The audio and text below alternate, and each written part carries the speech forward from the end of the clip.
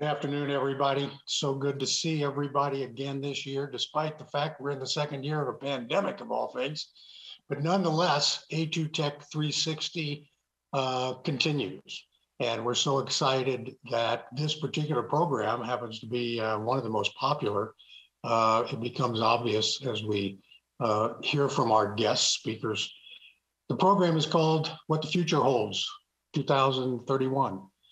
Basically, we've invited some experts to share with us their thinking, belief, where they think we are going as um, as a people uh, over the course of the next 10 years, what kinds of exciting things are going to, to happen, what the game changers are that uh, we have to look forward to uh, in the next 10 years. And we've got an outstanding panel covering basically four different um, areas of interest. First off, we're going to hear from the NIH. Then we're going to hear about blockchain and crypto and all that, which is highly, um, you know, on the top of a lot of people's minds these days, has been for a few years, fairly new, but where's it going?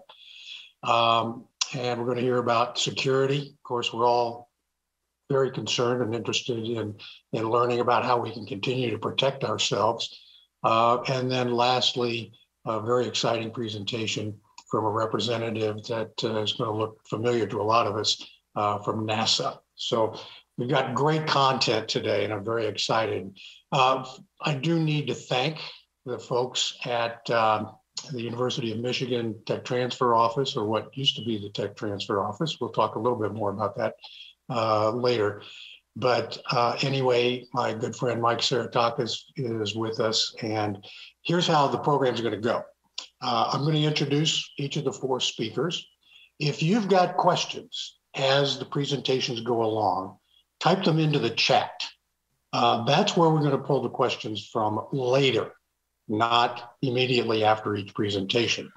Uh, the four panelists are going to come together at the end and we'll do a mass Q&A at that point, and we'll be pulling the questions that you're asking from that chat uh, feature. So that's where you go to ask your questions. And then um, after that, I think uh, I think we'll be we'll be good to go. We're we're excited about getting started. So let's do that.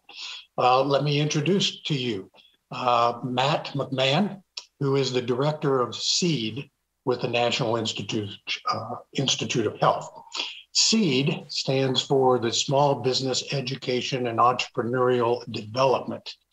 It helps uh, to transform cutting edge technologies into products that improve health and save lives. The SEED team educates and assists NIH funding innovators, of which we have many in the state of Michigan, as they transition from discovery science to product development. Uh, the SEED helps academic innovators validate the potential health impacts of their discoveries through a national network of proof of concept centers. And they fund the NIH $1.2 billion a year uh, in SBIR and STTR uh, programs. Matt has a diverse background in academia, small business, congressional policy, and NIH program uh, management. So without further ado, let me uh, introduce to you now Matt McMahon. Matt, welcome. Thanks for being here. Great. Well, thanks for having me, Skip. Uh, I really appreciate being invited to come here. Thank you to all the organizers. It's a real honor to represent NIH. Um, people often tell me that some of my ideas and my thoughts are way out there, but I wasn't sure that they meant way out there like 2031. So I'll try and um, I'll try and do my best to tell you a little bit about where NIH is at right now and the, the status of where we are. And I'll also provide some of my own kind of educated guesses about where we're going in the future. And hopefully that will stimulate some, some good discussion. So I, I want to start by just talking a little bit about the role of NIH in innovation. Um, and I want to I want to kind of make sure people understand that the, the NIH mission is both to seek fundamental knowledge about the nature and behavior of living systems, but also to apply that knowledge to enhance health lengthen life, and reduce illness and disability. And that's why the tagline of NIH is turning discovery into health. So it's it's kind of a common um, a, a bit of a common misconception that the National Institutes of Health funds basic science research and then all of that application and commercial development and patient impact happens somewhere else. But what I want to talk to you about today is about um, the role of NIH in a vibrant R&D pipeline. And I really think that that is a major theme that's going to continue as we go forward into the next decade.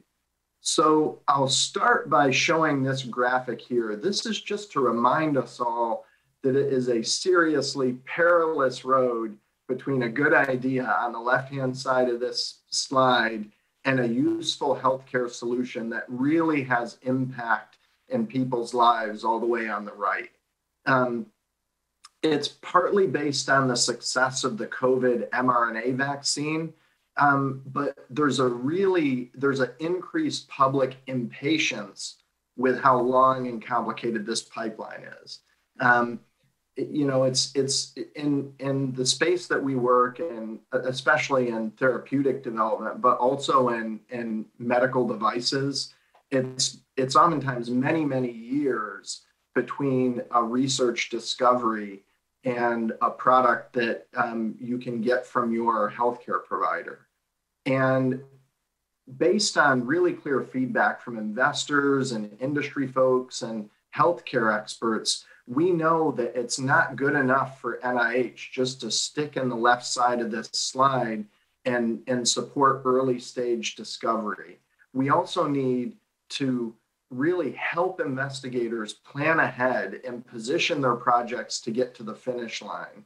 And we want to help them do that by helping them de risk their discoveries, enter into the early stages of product development, and really understand all of those entrepreneurial aspects that are going to be critical for their success. I, I sometimes think of that as, as process literacy because we're not really we're not necessarily trying to turn basic science researchers into business people but we really want basic science researchers to have a clear understanding of what it takes to turn their discovery into a healthcare solution and to be able to position their projects effectively to do that so nih has a number of programs that sit at some of these different translational chasms that, that many of you are familiar with um, the first one I'll mention is our national network of proof of concept centers.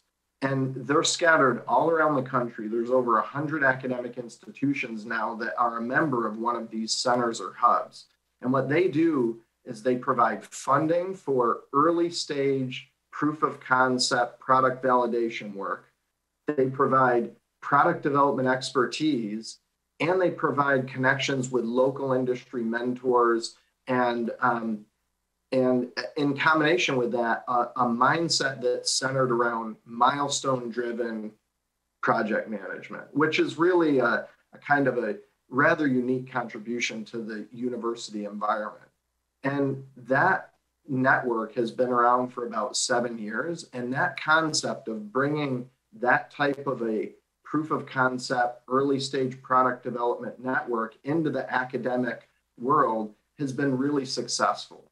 We've funded about 380 R&D projects so far, and they've resulted in 88 startup companies and one and a half billion dollars in private sector follow-on funding. So that's not for that's not subsequent government investment. That's private sector investment, and that's based on 52 million dollars of total NIH investment in this network. So there's a tremendous leveraging that's occurring here um, and we're pushing these um, these projects out into the private sector where they can really have a big impact on people. And in fact, one of the center, one of the initial centers that we funded was at the Cleveland Clinic, and Cleveland Clinic partnered with the University of Michigan. They joined that proof of concept center, and there have been six projects that came out of the University of Michigan. And I have to admit that they are some of our best projects uh, in the entire network. So every one of those projects, except for one, is being developed by a startup company or a small business. And those projects have raised $16.8 million in follow-on funding.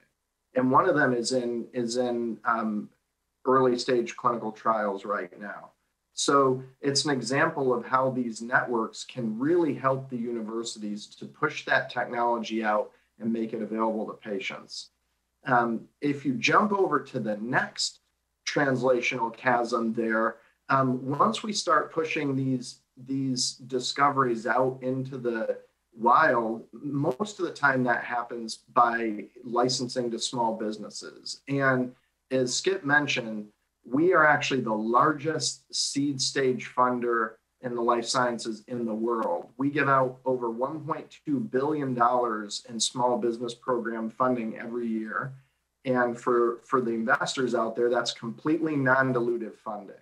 So our portfolio at any one time um, could have, I, I, don't know, anywhere between 1,000 and, and 1,500 awards. Um, we actually have 50 active projects right now in Michigan, and they're supported by $21 million in NIH funding. So we we try and have um, we, we're we're interested in diversity at NIH, but we're interested broadly in diversity. We're interested in diversity of personal backgrounds, diversity of um, the type of innovator, geographical diversity, we're interested in people from, from underrepresented backgrounds. Um, uh, we're trying very hard to increase the number of women and, and innovators um, from minority backgrounds. So we're really trying to um, just expand this innovation ecosystem as much as we can.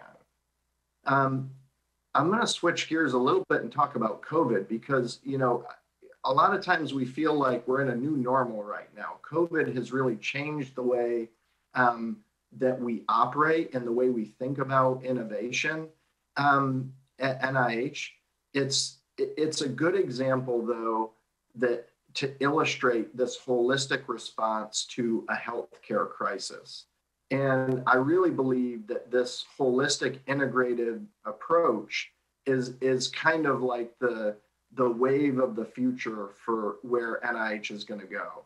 So in this slide, you can see the different components of NIH's strategic response for COVID-19. So the first part is to improve fundamental knowledge that that's required to understand COVID. That's the basic science research everybody understands.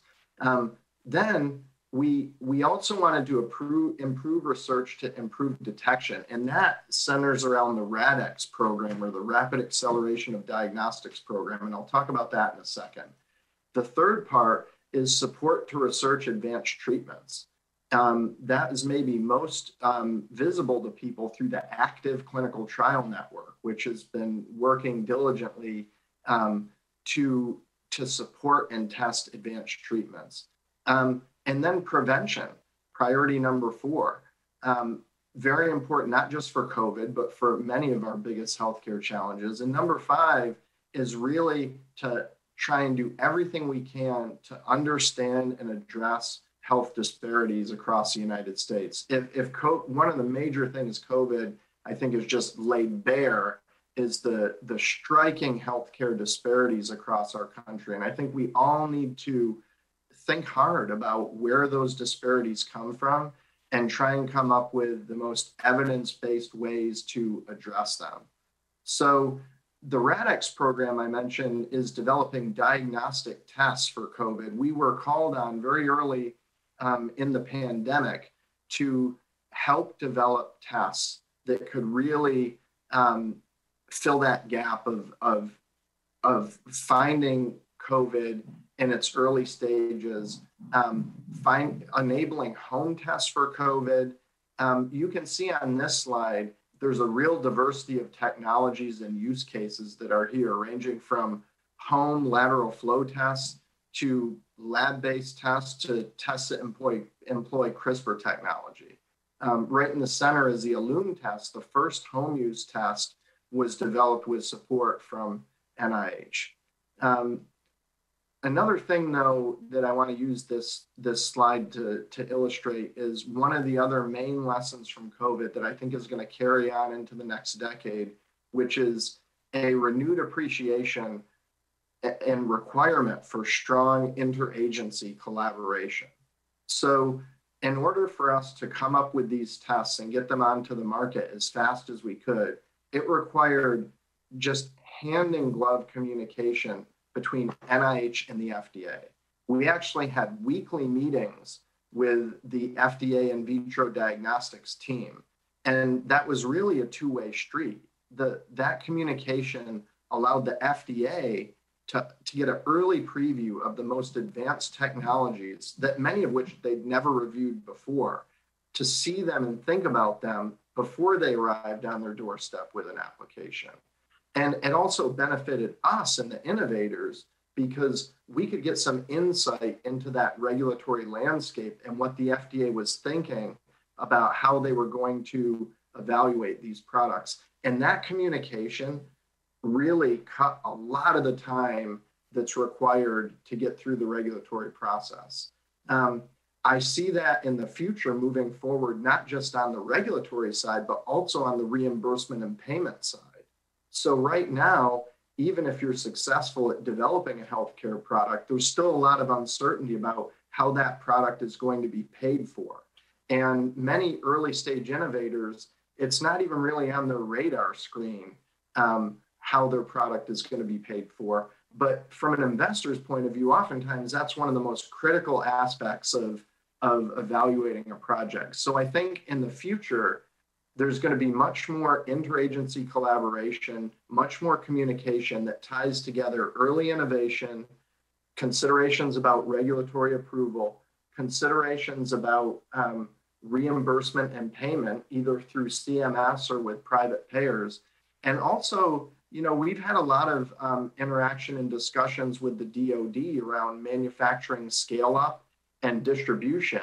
And that's really been an eye opener too, because I think many people understand that um, in the United States, there's the, the healthcare market is so price competitive that we need to think about for these early innovations, like for COVID tests, we we stimulated that market by purchasing so many of these tests early on and we continue to do that. So i think there are broader discussions to be had in the next decade about the role of government in, in stimulating those healthcare markets for early stage technologies um, this is another example so not only did we develop these tests but we worked together with the cdc to get those tests into the hands of people who need them, needed them the most.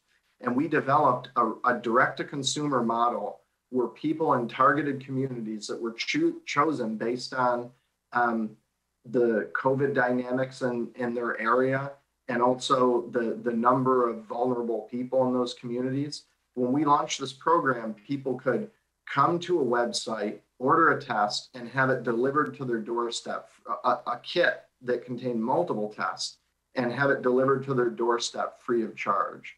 And it was fast, cheap, simple. It was a great program um, that really shows how not only did we did we stimulate early innovation for test development, we we barreled our way through the initial stages of development, innovation, FDA approval, and not only that, we went direct to consumers with those tests through the Say Yes COVID test program. Um, so that's an excellent example. But you know, there are some there are some real problems that we uncovered too, which is it's not good enough just to make the tests available. We learned a lot about hesitancy for people to continue testing, um, and and I think issues around that and around vaccine hesitancy have really pointed out another major theme, which is that technology isn't the solution to all of our problems. Technology isn't enough. In the future, we're going to have to work much harder to combine technology development with social science and behavioral economics to understand how we can not only develop new cutting edge technologies, but effectively integrate them into society. That's definitely going to be a major theme going forward. Um, there are no better examples than. There's no better example than vaccine hesitancy. Um, I, I, mean, it's maybe one of our most celebrated successes that you know I can even imagine. The fact that that an mRNA vaccine was developed and distributed with such speed is a tremendous technological success, but it is a tremendous failure that um, we've we we're not able to have that vaccine penetrate its way across um, our population in a way that we need to protect ourselves. So that that leads to even an even more forward-looking vision for what could be happening at NIH. So many of you have probably heard that the Biden Harris administration has proposed a DARPA like entity for healthcare, an advanced research projects agency for healthcare. And that, that um, proposal is now um, working its way through the process of being developed, um, of being funded by the Congress. ARPA-H is really a radical way to push this vision of closing the gap between science and innovation and patient impact.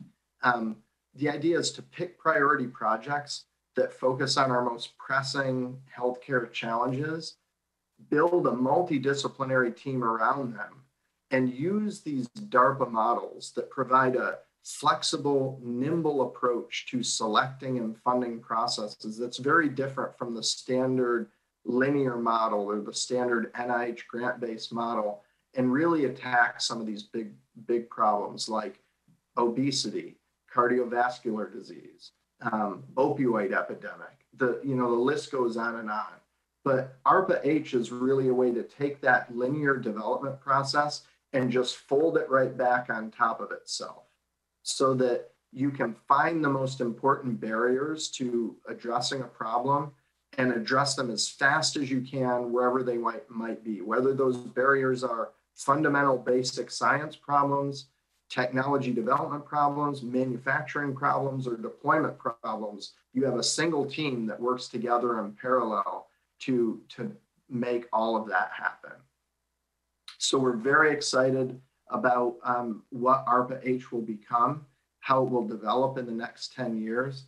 And that's really um, the, probably the, uh, the single, one of the single most uh, uh, radical changes that you'll see at NIH going forward. But you know, I can't even begin to give a talk like this today. Um, you know, one or two days after the announcement that Francis Collins will be stepping down as the NIH director, Francis Collins has been leading the National Institutes of Health for over a decade.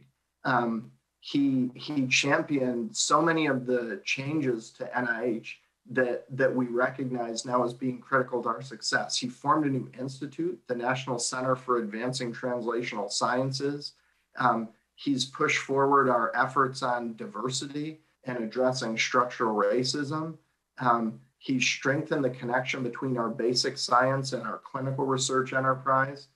And um, we have so much, uh, there, we owe such a debt to Francis Collins for his leadership. But as we look into the future, um, and part of the reason why Francis Collins explained that he was leaving is because it, he felt that it was time um, to bring in some new leadership, some fresh leadership, and take NIH into the next decade. So um, I don't really have any predictions about where that's going to go, but I'm extremely excited about where NIH will be going. Um, at the same time, I'm, I'm very sad to see Francis Collins step down, as we all are, but we're very much looking forward to a bright future in the next 10 years at NIH. So thank you, Skip, for having me.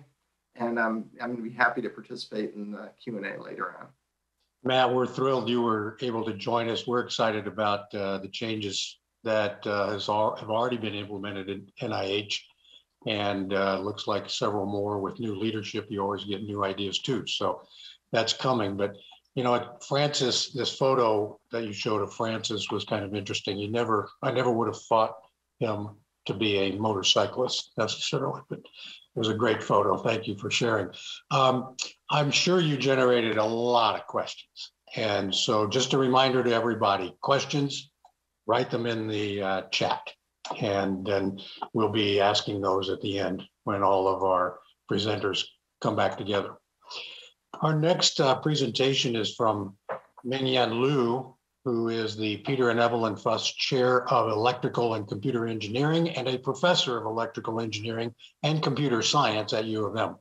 She received her PhD uh, in electrical engineering from the University of Maryland, but then moved to U of M wisely, where she's been since the year 2000. Professor Liu's research interests are in optimal resource allocation, sequential decision theory, incentive design, and performance modeling and analysis, all within the context of large-scale networked systems. Her most recent research activities involve cyber risk quantification and designing cybersecurity incentive mechanisms using large-scale internet measurement data and machine learning techniques. Uh, it was great pleasure. I introduced Mingyan Liu. Thank you for being with us. Looking forward to your presentation.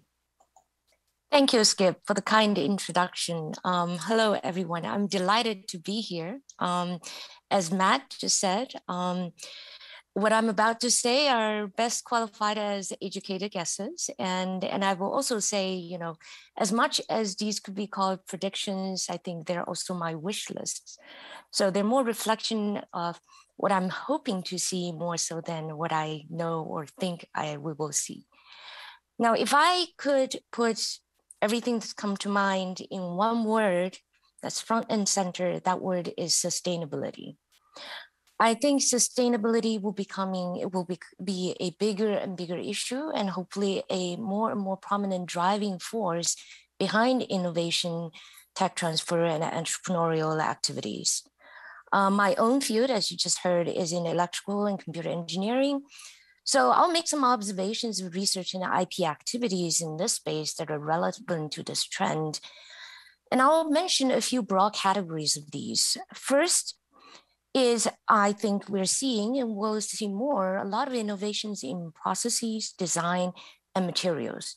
A very good example of this is how is low power electronics with existing materials this has been uh, a major area of IP, and U of M has been a big player in this space.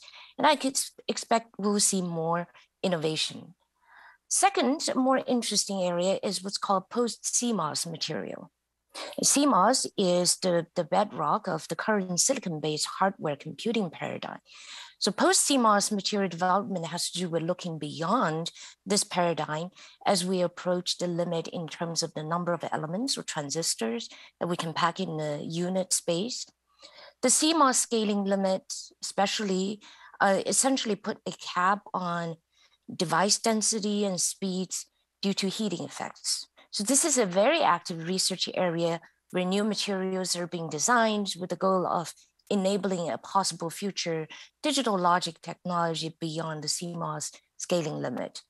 Now, most of this technology still lives in uh, labs, and it's certainly true that the vast majority of the industry is, uh, I would say, still betting on getting more mileage out of CMOS uh, by using better processes and other innovations. But I think in another five years or so, if not sooner, we'll begin to see some of these technologies uh, starting to mature. Second broad category is uh, innovation in energy, renewables, energy conversion, energy storage. Right, we're seeing much more efficient photovoltaic technologies. Again, U of M has been a very big player in this space, um, but energy storage uh, similarly is is um, shining a light on some very non-conventional problems, uh, fascinating ones that you wouldn't think about. I'll give you a very interesting example uh, that I heard very recently. You know, if you drive an electric car, you probably feel very good about moving away from fossil fuel.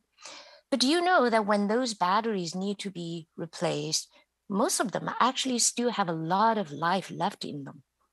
But they just cannot be used in cars anymore. Why? Because we pack many batteries in a single vehicle, and each and every one of them actually deteriorates differently. That's just the physics and chemistry of how these batteries operate. And the minute they deteriorate sufficiently differently, we just cannot work, work with, they cannot be used together anymore. So now that brings the big picture, a big question of what do you do with them? Because they have a lot of life left. Uh, how do we, we don't want to recycle them necessarily. How do we reuse them?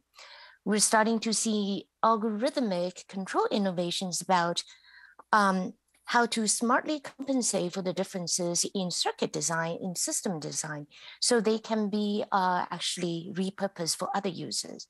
And I expect we'll see more interesting development innovation in that space. Um, the third category I'll, i want to mention is AI and sustainability. Uh, the current AI is extremely power hungry. Is it sustainable? Um, as a proof of concept. Uh, I think that's okay. But can it really be widely adopted given its energy consumption and should it? It's already the case that certain tasks can only be performed by very few entities in the world, not because others do not have the know how, but they don't have the computing and energy resources. Um, a related issue with the current AI technology is it is extremely data hungry. And this has fueled heavy concentration of consumer data and opaque trading of consumer data. And it has led to massive privacy issues that I, I don't think I need to get into here. Um, there are a lot of activities, uh, some of them very promising uh, on the subject of edge AI, how to harness the power of AI on local edge devices using only local data or using some combination of local and central, centralized computing. Um, there are hardware innovations aimed at this type of edge AI tasks. There are families of algorithms, federated learning being one of them, that are being developed. Um, some of them are being piloted in uh, specific domains such as healthcare. Um, so there's no doubt in my mind we're going to see more of this type of AI technologies. Uh, incidentally, I'm part of a uh, new $25 million NSF AI Institute on using AI to build the next generation wireless edge networks. And I'm very excited uh, to work with my collaborators, to see what kind of innovations uh, we can have there. So in short, I hope to see future AI technologies that are less data hungry, less power hungry, or in other words, more human-like. Human brains learn very, with very few data points. Um, last but not least, I'm increasingly beginning to see cybersecurity, something that I am quite familiar with, as a matter of sustainability, because it impacts technology growth, uh, as well as our physical and mental health, as more and more of our work and life are, you know, they now exist in the cyberspace.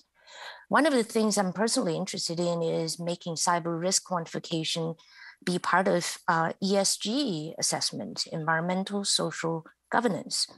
Um, this framework is increasingly becoming a way to assess socially responsible corporate governance. And I really believe cyber ought to be part of this assessment framework. Um, I will end this by echoing what Matt said toward the end, which is technology is not the solution to all our problems. Uh, as an engineer, you know, I represent the segment who likes to use technology to address problems uh, created by older technologies.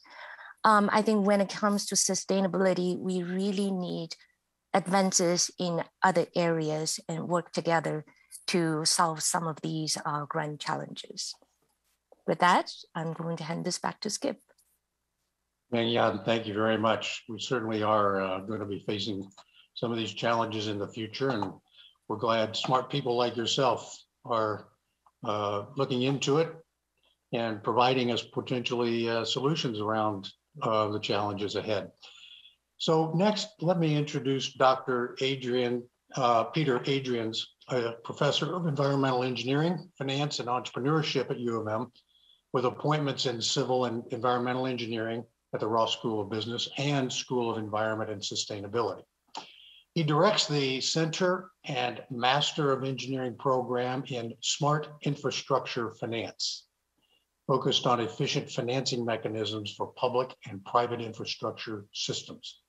His research and teaching focus on data-driven business and finance models for infrastructure, blockchain applications for smart cities, and artificial intelligence, learning for asset pricing and sustainability premiums in bonds and equities. I, I'm sure he's going to get into all of this. I look forward to his presentation. Peter, take it away. Thanks for uh, having me at the 2031 event to talk a little bit to you about blockchain, fintech, and the asset tokenization opportunity. Just for context, about a decade ago or so, I was working on data driven business models uh, for uh, new entrepreneurial uh, businesses, which uh, led me into a sabbatical I was able to take up in uh, Finland in the Nordics. And it gave me exposure to a whole new opportunity I hadn't thought about before. That is this the digitization uh, and, and the, the broader digitization of the economy and the digitization of finance. So what that really means is how can algorithms be used to actually make decisions on financial investments uh, for uh, economic development. And so, about five years ago, six years ago, I came back from Finland and uh, back at the University of Michigan. And the question was, and now what? I mean, I'd had a chance to essentially look at the design and development of financial technology models for the Finnish economy. And back at Michigan, uh, uh, I started back again at civil environmental engineering. And um, we, we asked the question how do we better integrate sort of finance and financial questions in the context of of infrastructure. And definitely it's very pertinent right now as we're talking about infrastructure bills um, up on the hill and uh, figuring out how we're going to be paying for those. So what i did uh, about five years ago is we started a new center and it was called the center for smart infrastructure finance. And the whole idea was how do we use all the data that are being generated by all infrastructure assets, whether they are water, or energy, or roads, or broadband, or whatever kind of infrastructure one can think of, and integrate those into sort of you know automated, algorithmic based decisions to you know make investments in these different assets as efficiently as possible. So this center has now been running for about five years. Um, it was uh, supported by um, several industries as well as blockchain companies. And we built a master's program around this as well. So now we have a master, we have a center for smart infrastructure finance and a master on smart infrastructure finance to actually educate engineers better in the financial and fintech financial technology opportunity. I mean, fintech, the word fintech kind of means that we're integrating finance with technology into the context of, of algorithms and models. And that's where we're at right now. So the center really focuses around efficient financing models for intelligent systems. But let's let's zoom out a little bit here because this whole fintech market opportunity has been around for a while, has been around from before I came back to, to Michigan after my sabbatical.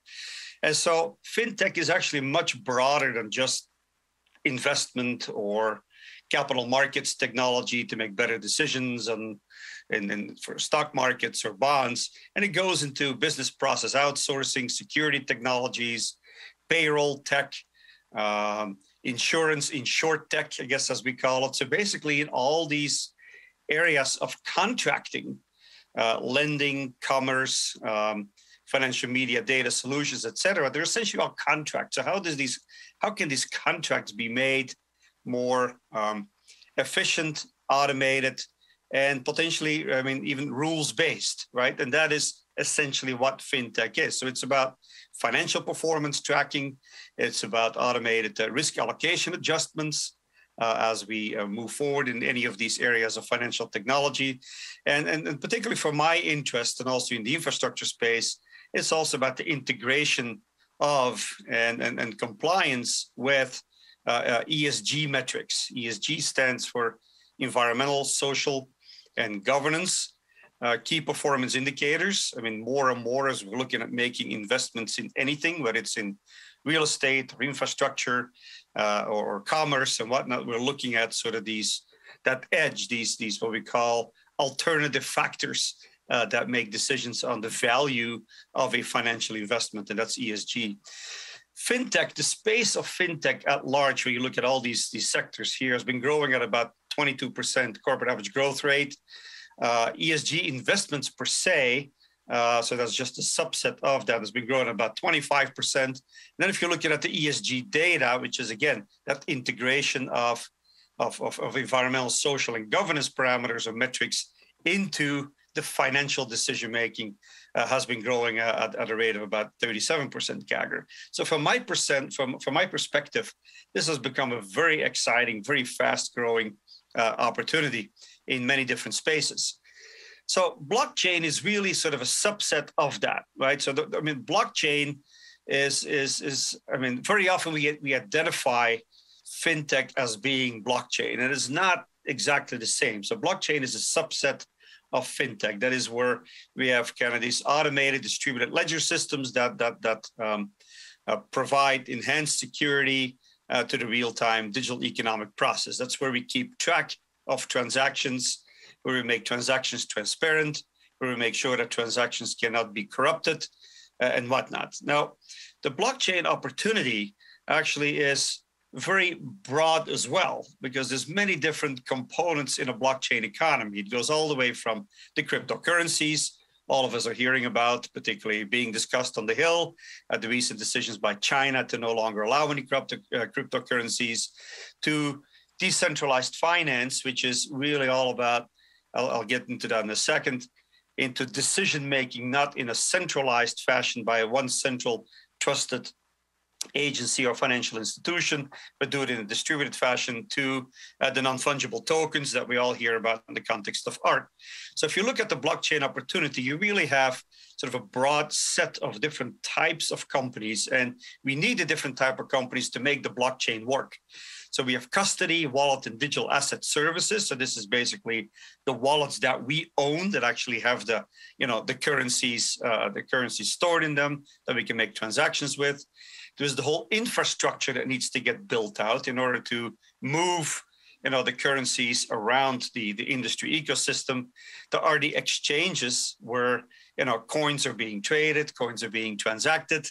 Uh, there's the capital markets of course that that that um, are getting involved in this. And capital markets get involved from from the perspective of that they are seeing efficiencies in sort of these digital algorithmic opportunities that relate to, to financial decision making.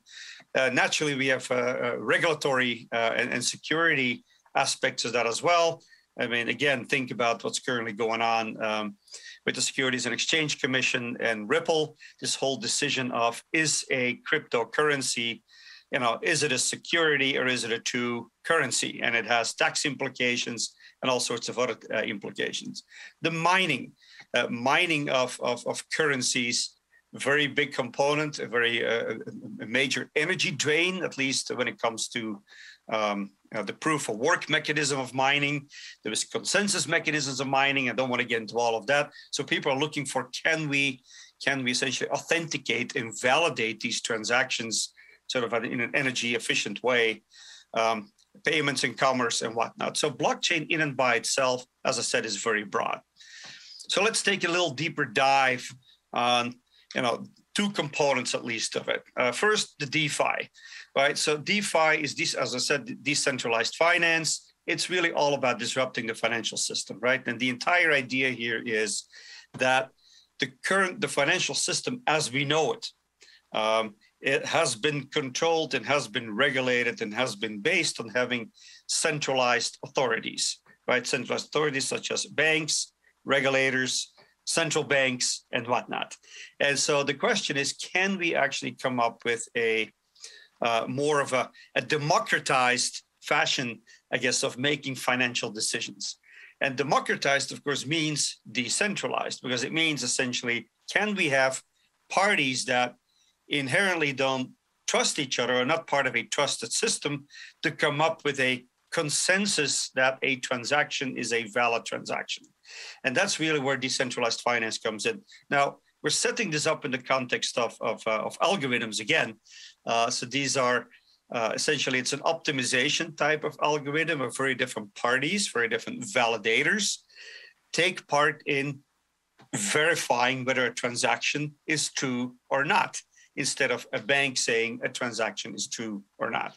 Now, there's, there's multiple benefits to that. People would say, why on earth would you want to do that since we have the banking system and you know, I mean, it, it, it works very efficient. It is also a very expensive system.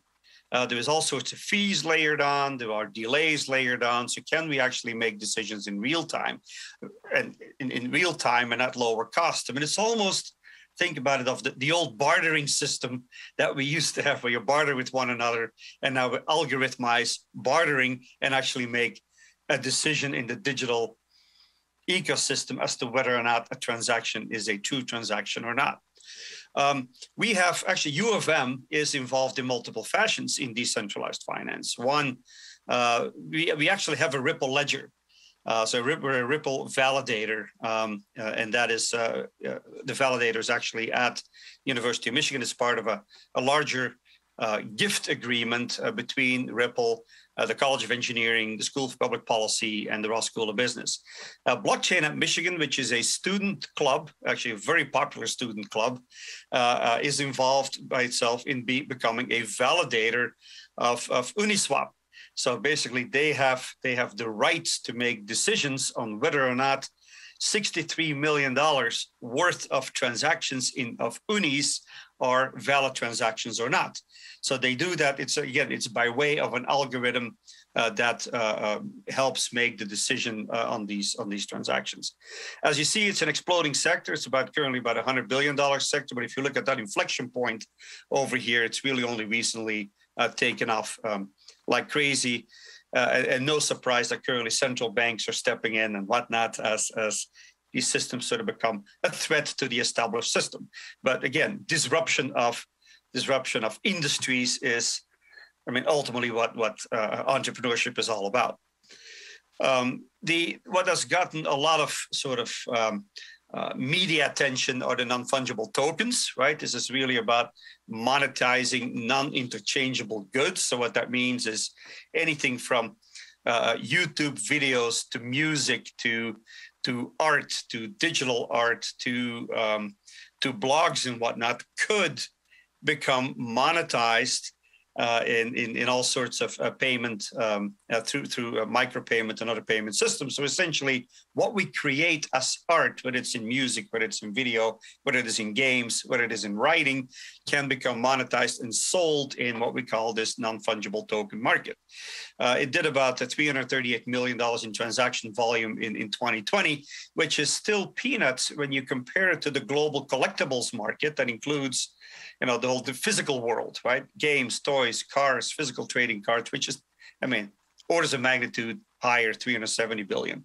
And so people are looking at you know how can you know and when we say non-interchangeable i mean every piece is considered to be unique. Every piece that's being generated a car a collectible trading card a piece of art is unique so therefore it is a non-interchangeable good that gets sold as a as a digital asset um, but then uh, it can be traded over a blockchain such that just like you know the art market uh, in auctions where the value can either go up or go down. I mean presumably mainly goes up. So this is a, a market that's just been taking off been taking off. We even have certain moves of basketball players of football players that they own that they say this is unique to you know this player that nfl player that nba player and they can actually monetize even that particular move.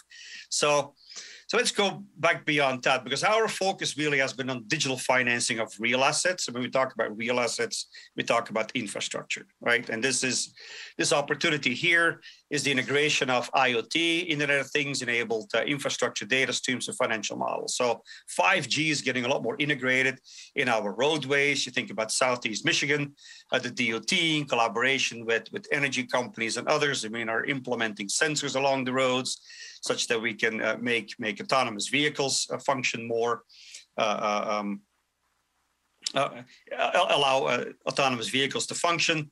Uh, one of the things we want to do with that is can we tokenize some of that infrastructure? Because once you know what the data streams are in infrastructure and what the uses of infrastructure, we can attribute a value to the insights that that infrastructure provides. So you're going to have roads that have more traffic volume, less traffic volume, more commercial volume, less commercial volume, more um, uh, you know, uh, association with, with, with, with parking fees and revenue, more association with wireless revenue. So basically every infrastructure asset essentially becomes a, a data generator and therefore a value generator.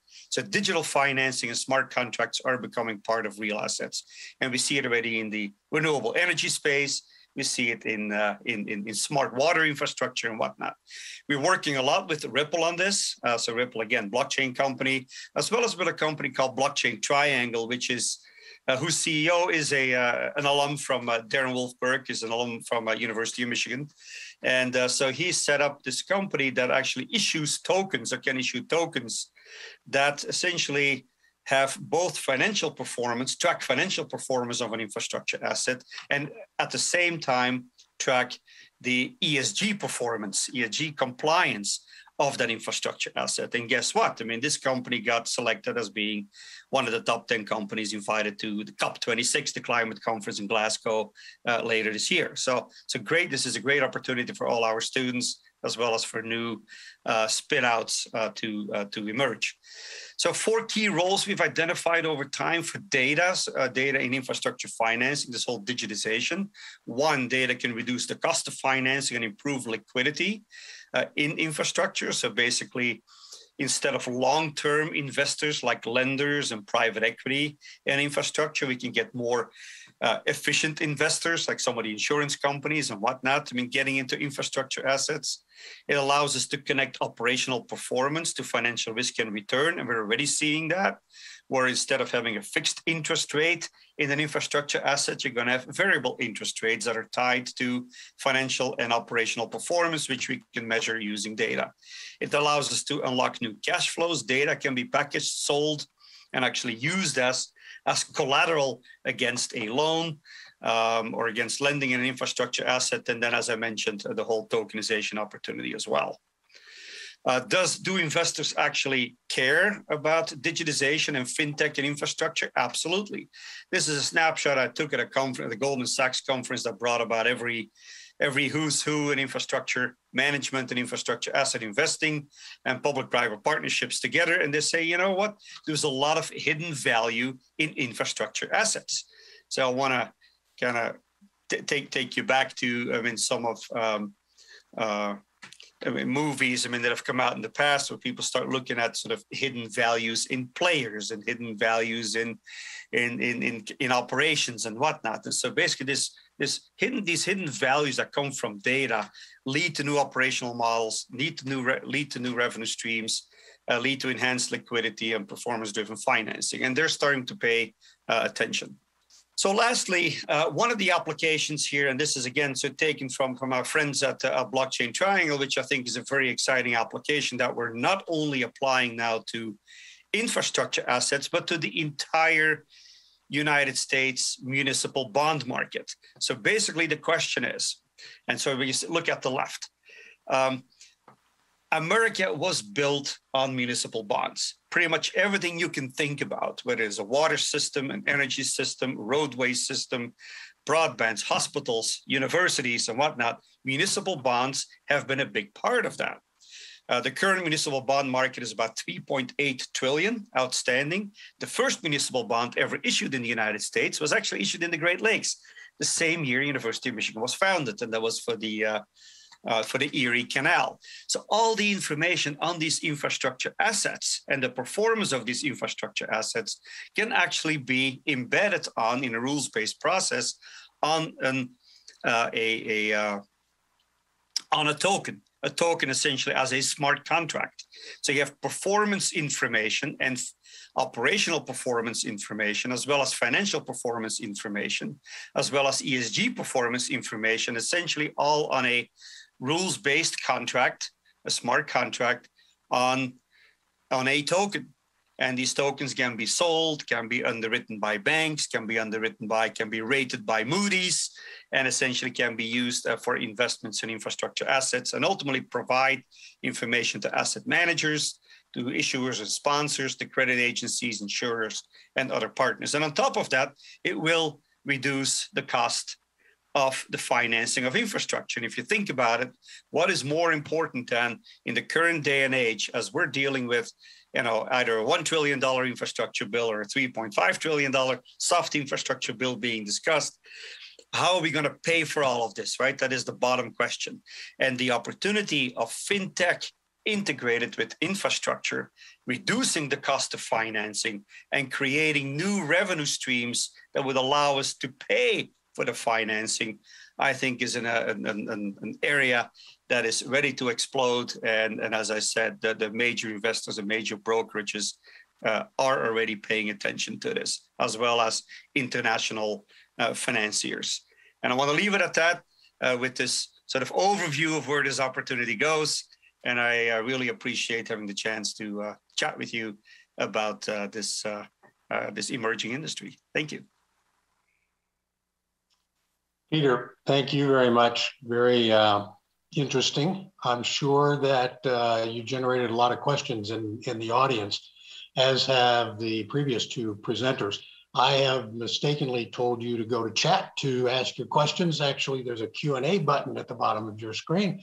And uh, please put your questions in there and uh, Mike is going to moderate the Q&A session after our next presentation, which is uh, coming up now with the um, NASA's Associate Administrator for the Science Mission Directorate, Dr. Thomas Zurbuchen. Thomas is probably well known by many uh, who are watching the, the program today. He was a professor of space science and aerospace engineering at U of M. He was the founding director of U of M's Center for Entrepreneurship at the College of Engineering and developed and ran several campus-wide innovation initiatives, one of which led to the top-ranked undergraduate entrepreneurship program nationally. Uh, Thomas is Swiss. He was born uh, in Switzerland, went to the University of Bern, where he received his Master of Science in Physics as well as a doctorate. His honors include multiple NASA Group Achievement Awards, induction as a member of the International Academy of Astronautics, a NASA Outstanding Leadership Medal, and uh, the 2018 Heinrich Greinacher Prize, a leading science-related recognition from the University of Bern. We're delighted to have Thomas back in town, uh, be it remotely. And so, Thomas, it's all yours. Thank you. Yeah, I'm Thomas Zurbuchen, and I'm just so excited to speak to you today. Of course, I know the Spark community very well. I worked with you for almost a decade, launching the entrepreneurial ecosystem around undergraduates and students of the College of Engineering and all the way beyond the university. I deeply appreciate the friendships I formed there. Many of you are still very close to me. And I want to thank you also, of course, uh, for uh, all you have done and you are doing for the community at large, especially those of you who are hiring uh, people from the university and from the community overall, and all of you who have come together, especially during the last couple years that were really difficult for so many of your businesses, and have steadfast supported the community and your employees. I really want to express my appreciation.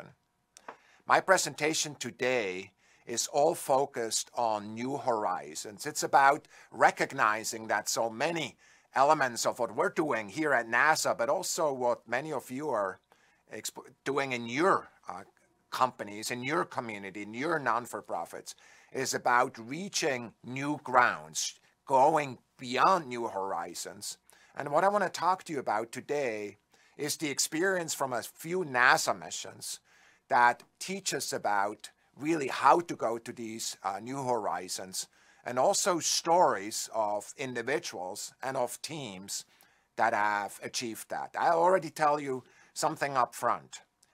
At the heart of a big project that goes beyond uh, a new horizon and reaches to new goals is a team.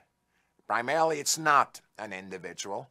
I happen to be the head of uh, NASA Science Mission Directorate, but I have this position with humility because I recognize that the people who are really deserving all the credit are the individuals that make these missions happen.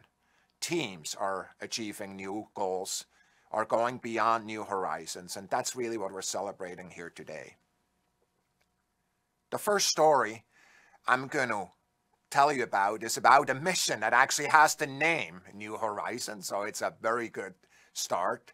It's a mission uh, that, uh, of course, uh, launched in January 20, 2006 from Cape Canaveral. And there is no space talk without a beautiful launch picture. And of course, it launched on an Atlas V rocket. And it went through space by Jupiter and all the way out there to really to its goal. And what is shown here uh, is the data that was known before summer 2015 when New Horizons began a, a, six months reconnaissance flyby of Pluto and its moons, culminating with a closest approach on July 14th, 2015. Everything that was known before is in that picture. It used the best telescope we have, which is the Hubble Space Telescope, and it captured this image of Pluto in early 2010. Now you realize looking at this image that Pluto has structure. You realize uh, that it's probably more exciting in terms of just the overall look and feel like the moon, like many people have said, well, Pluto is not worth going to. It's so far away and just looks like the moon. You already see that but what happened in the flyby is frankly stunning beyond belief. So let me show you an animation during that flyby uh, in July 14th. The animation show is shown travel from south to north along the western margin of Pluto's heart, which I'm going to show you in a second, called the Sputnik Planitia. On the right, east, uh, there are bright ices, and left, uh, here in the west uh, are dark reds, red terrains. The reddish material indicate the presence of organics, primarily hydrocarbons, produced by photochemistry in Pluto's atmosphere and uh, deposited on the surface. The mountains and craters seen with steeples are made out of water ice are created with the same red material. You, of course, know this picture, and it has been sent to millions of people on Valentine's Day and before, beyond. And of course, what it shows is Pluto in its new glory, achieving that new horizon of understanding this planet. Blue and white areas on the right are bright, clean ice. The blue is caused by scattering of light, uh, while the white areas are fresh ice deposited by atmospheric transport. Of course, the yellow created by the rain out of the atmosphere, like the soot particles on surface uh, radiolysis, and in similar chemistry to the featured on the red terrains to the right. You're looking at this planet and its beauty achieved by a team with a lot of adversity, with a lot of uh, challenges, and frankly, uh, one team that uh, made history and showed us the beauty of that outer worlds, worlds we've never seen. That is what New Horizons is about. See, I resonate with New Horizons because I grew up in the mountains and I always saw New Horizons, horizons all over. My thoughts, uh, and of course, this is a scene right by the house where I grew up. Uh, you look at the fog in the spring uh, down there in the valleys, and you look at the mountains. Some of these mountains are, frankly, mountains I spend a lot of time in, like Niesen, right? That triangular mountain right in, uh, ahead of you there. You can hike up and down, no problem. You look more to the left there, and you get into mountains that, frankly, even without, with my training of years in uh, the military and also by other uh, clubs and kind of uh, training I had, I wasn't able to actually get up those mountains. The other thing that's interesting, when you're sitting on top of that mountain, you see new mountains behind it. And so for me, just thinking of kind of the feeling of achieving uh, new horizons using the kind of experience I had of hiking in the mountains is really what I'm going to use in this talk.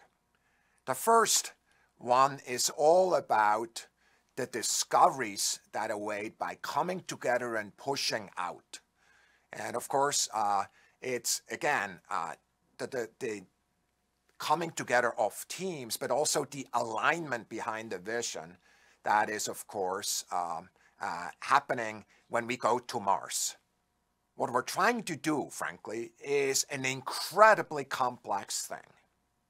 What we're trying to do is, and we're in the process of, is achieving a goal to go to the to a planet, Mars, and come back from it. The reason we want to do that is twofold. First of all, what we want to do is to bring samples back from Mars. Mars, just like the Earth, had a thick atmosphere, had standing water on the surface something like 3 billion years ago.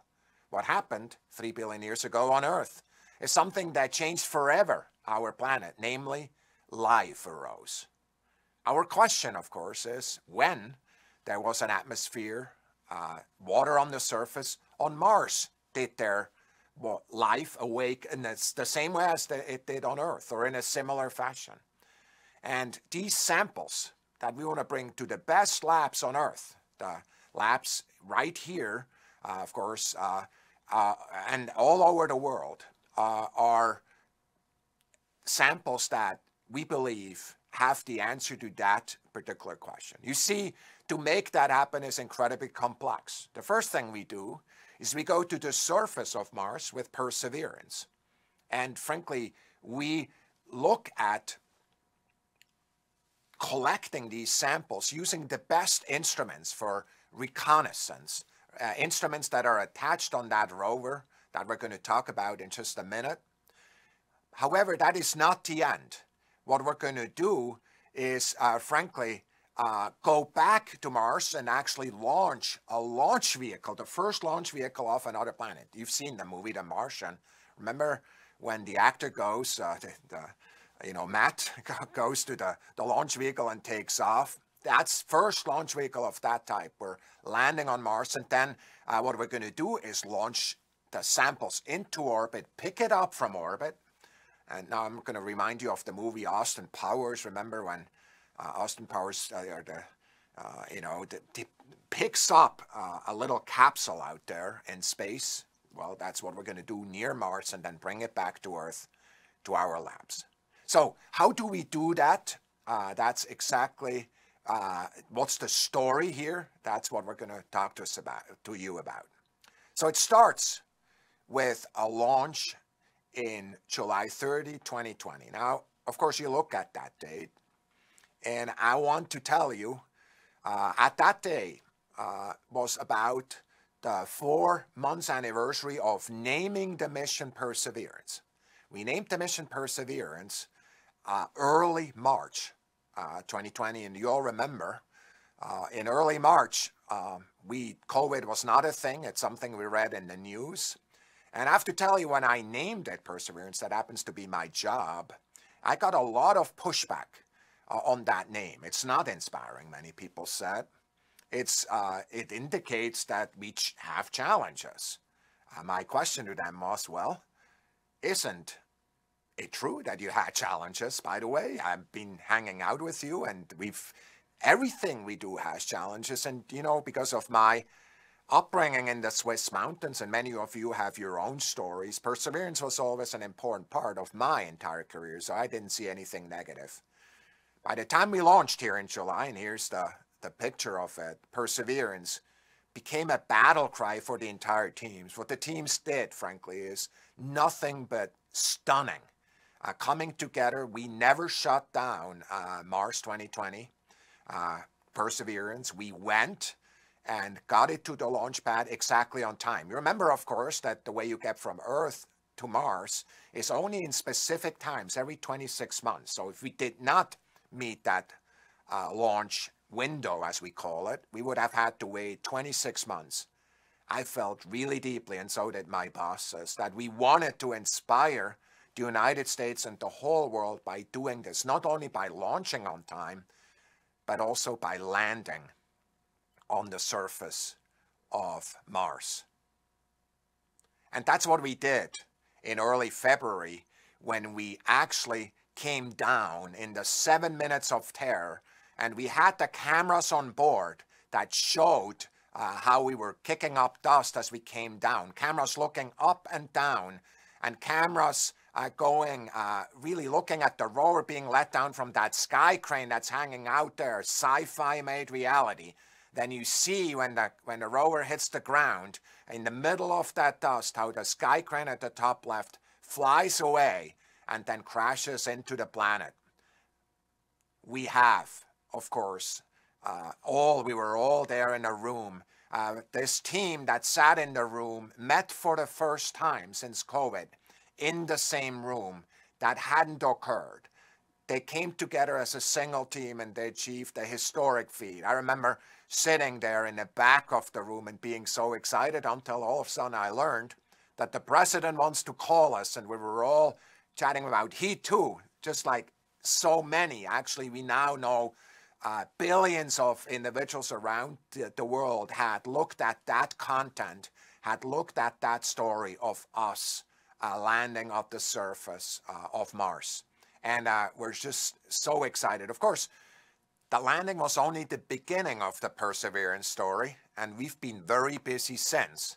And in fact, what you're looking at right now is the fruit of the labor of that team. You see in that rock, on the surface of the former lake bed uh, on Mars, you see two holes that were drilled in early September. I'll be honest with you, that's the second attempt. The first attempt that we tried to take in the ground at another site was not successful. To our surprise, we realized that the material was very brittle and it frankly fell out of our sophisticated drilling apparatus. The two holes here, of course, are the indications of samples we've taken, promising samples telling us the history of that rock and that site uh, as it kind of went from a sea bed to a really violent flooding uh, place and then to the dryness that we currently see. And the samples are now on board as we're going forward, finding other places to sample and moving towards the time when we bring those samples back. You of course know that not only have we had perseverance on the surface of Mars, we've also brought a companion, Ingenuity. Ingenuity is a little helicopter, and I tell you as a story, it's a uh, Ingenuity is a tech demo that uh, we flew to the surface uh, of Mars, strapped to the bottom of uh, Perseverance. And frankly, our entire goal was to have only four flights. Frankly, I have to tell you, it was really exciting to get this there and uh, I remember uh, there were at least three times where committees, very important people uh, in various places, including managers and so forth, recommended that I terminate uh, Ingenuity, uh, the helicopter that has uh, captured the hearts and minds of so many because of the, again, the team that's behind it with MiMi Aung and all her team members that are flying that helicopter. What is shown here is frankly the the overall uh, 13th flight, pictures from the 13th flight. And the reason we're at number 13, frankly, is because after we were done with the four, the science community that uh, just between us were not that excited about uh, Ingenuity because they thought it will steal their thunder. They said, wait, this is a really useful instrument it's a scout, and frankly, we can fly places like the one you're looking at, where there are dunes where, frankly, we can't really drive at the rover because we've learned in previous times that we could, in fact, get stuck uh, with, uh, you know, in, in, in, in, in dunes like this. So what is happening now that this, on this 13th flight, but also the other flights, is uh, we can take images and actually be a scout in this particular region uh, of, uh, of Mars going forward uh, because we want to learn not only about places we can't reach, but also being a scout for perseverance in which we can go ahead uh, and actually figure out where we want to drive so we can drive quickly and get to the goals we want to get to at a shorter time than otherwise we could. Here's an image of perseverance and ingenuity taken by the arm of perseverance, kind of in a selfie fashion. And what it shows is perseverance in a landscape that it has achieved and has is exploring because of the team that built it, because of the team that's currently running it, and an international team that's there. Right behind it is uh, ingenuity that, of course, has become a symbol of innovation for all of us and people worldwide. Again, another team doing the impossible, not just because it's hard, but also doing it and finalizing this entire work during COVID. Uh, of course, uh, what I want to remind you is on, on Perseverance, we actually flew a plaque celebrating the healthcare professionals that uh, are have affected so many of our lives and have, frankly, uh, behaved so honorably during this time under stress and under pressure. The next story about reaching your horizons is all about working together. Sometimes achieving new horizons is going outward. Sometimes achieving new horizons is coming together and looking inwards. And that's what the next story is about. And it is about the most beautiful planet we know, the planet that we explore with high focus, and that's our Earth. It's a planet that's changing, a planet that, frankly, we learn about from space more or kind of complementary um, to what we're learning on the ground. A planet in which we're all connected, we're breathing each other's air, and we, of course, are connected in a deep fashion. What we're seeing here uh, is the temperature over time taken uh, by multiple assets, uh, both from the ground and in space, coming together and showing, of course, that the temperature has increased and it is increasing. It's uh, scientifically understood why that is. And it's something that has changed our entire environment in a way that makes our planet today in many ways different than the planet that we grew up with, many of us 20, 30, 40 years ago, because of the fact that it has a different type of atmospheric composition. It has a different type of uh, uh, overall uh, systems that are interacting with each other. To explore that, what we're doing is actually looking at the Earth in an entirely new way with an uh, Earth System Observatory we just have announced.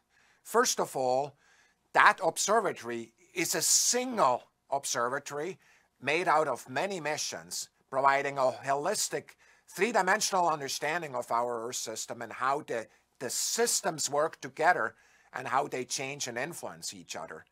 They start, of course, uh, with uh, surface biology, but also surface deformation and change, whether it's volcanic activity, whether it's landslides at the top. Cloud convection and precipitation is frankly an area that of, course affects weather, but is very little known. We have many areas uh, that we still like to learn. We have a really hard time predicting that. Those of you who are depending on snow and, and rain predictions know that really well. Aerosols are really important part of it. They really relate to natural sources, but also relate to human-made sources. And then overall, what we can do looking from space is not only see at the surface where masses, whether that's water or ice, but also below the surface. For example, in the aquifers uh, in uh, around Michigan or in other places, and these can be come together into a single data system that we can use. Again, the way we're looking at it is by coming together. It's not by jumping out there by ourselves. It's by creating a coherent, coming together approach with it. I want to show you some examples of that, examples that are right, happening right now. The first one is a unique tool. This is one of the many tools that are there. It's called ICESat-2, and of course, just like the name said, it was initially designed to track the elevation of ice. And the elevation of ice, of course, in the polar areas where much of the changes of the sea level is coming from in glacier areas, uh, such as the Rockies, the Alps, and many others around. And so it's really important to do that. Just to give you an example, uh, what we're doing is with this satellite that is about uh, 700 kilometers or so above the surface, 475 miles over the surface. We're shooting 10,000 shots of lasers down at the Earth, and we're looking at the, the scattered light coming back up. Uh, here's one example uh, that is close to your neighborhood, and it's a Mackinac Bridge. Uh, basically, what you see here is that this spacecraft launch in 2018 uh, provides unprecedented accuracy. So you basically see, of course, as the laser is hitting, uh, you see uh, scattering from the water surface, you actually see that some of the laser goes down and looks at the sur- at the at the bottom of the lake, which is pretty shallow there, as all of you know, who have boat there. Uh, you see the bridge, uh, and kind of uh, uh that is uh, where the laser is bouncing off, and then you see the land elevation and the trees that are there. This is only one example. Of course, we have the same kind of um, you know, traces over Ann Arbor. We have the same kind of traces during winter time when there is snow. We have the same kind of traces when there's ices is forming on top of uh, the lake and everywhere. So for us, understanding our planet is all about data.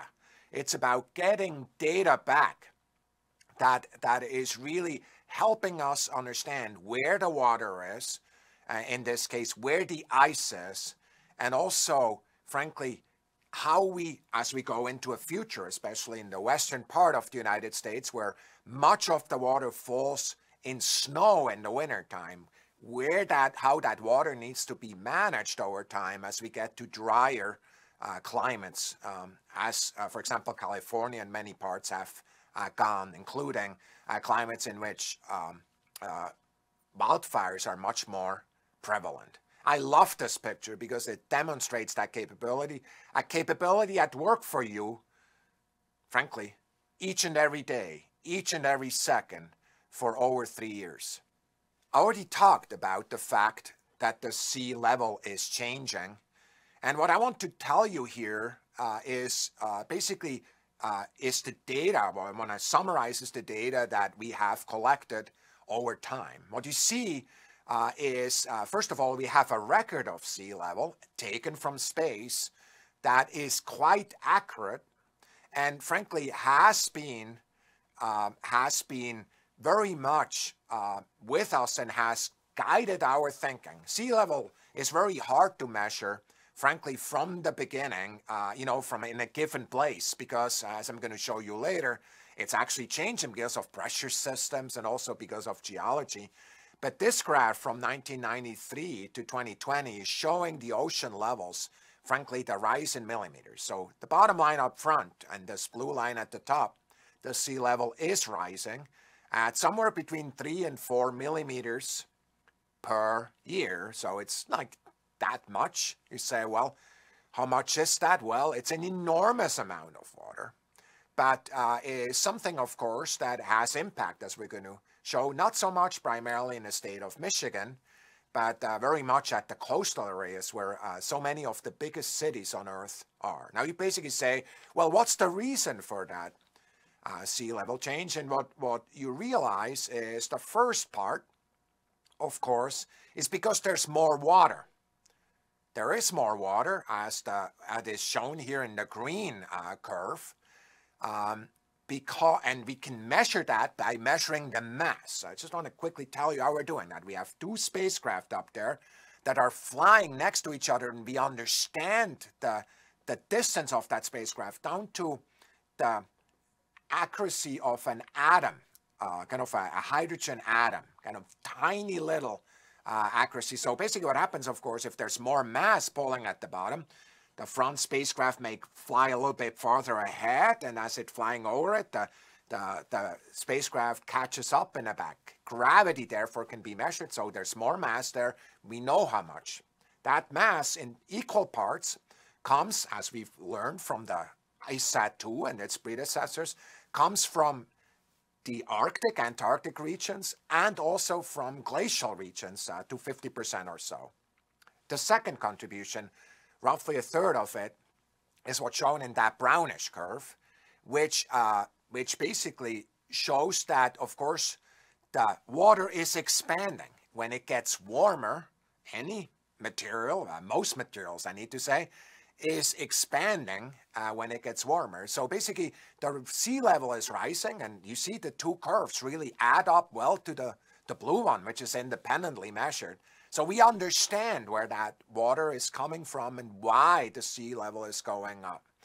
This uh, is an enormous collaboration between the United States, NASA, but also by international partners. We've worked with the French, with the Europeans on providing data like that, and this is important data.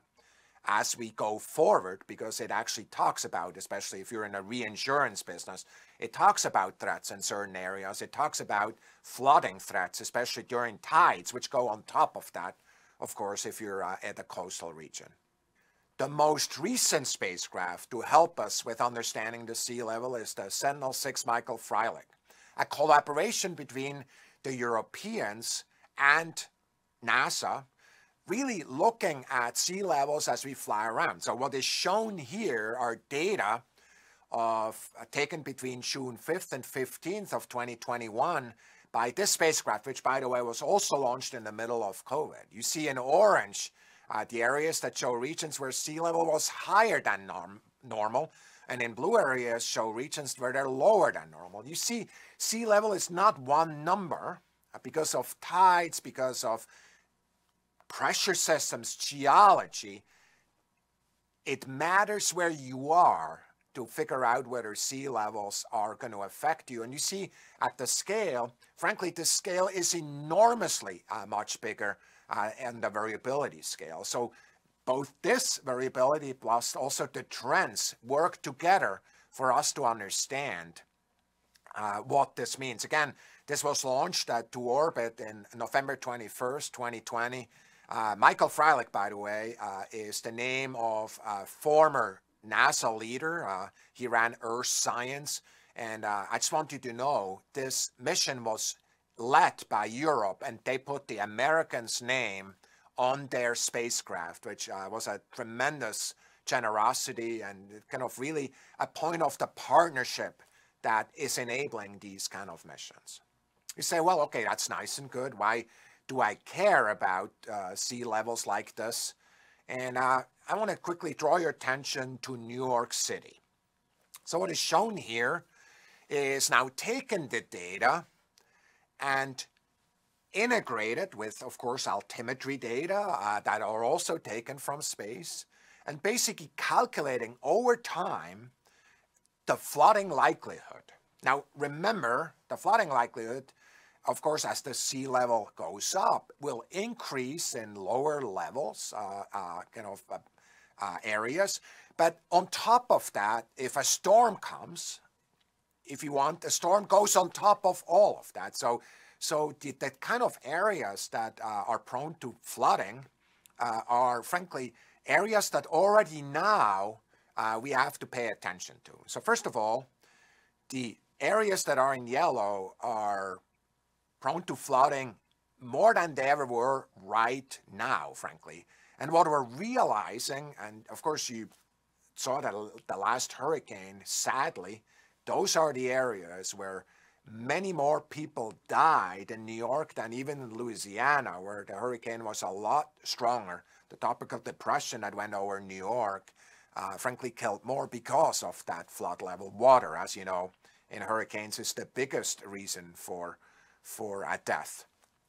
You see basically that uh, over the, the years of the 20s, uh, uh, you'll see an approximately uh, five inch uh, sea level rise and then go beyond that uh, in New York, go beyond that you know, from the 50s and 80s. And needless to say, that's speculative because, frankly, what we're seeing is that the uh, that the sea level rise, uh, go, you know, if you think back of the curve that I showed you with that blue curve, is actually tending to steepen, and we're worried about that.